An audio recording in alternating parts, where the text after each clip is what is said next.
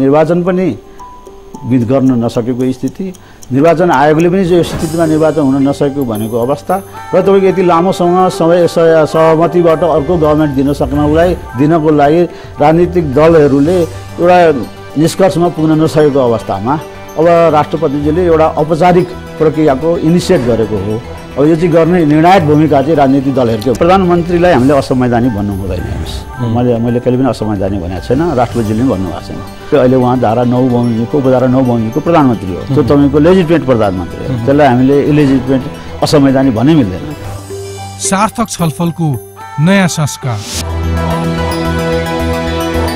Tough Talk with Dilbhushan Pathak.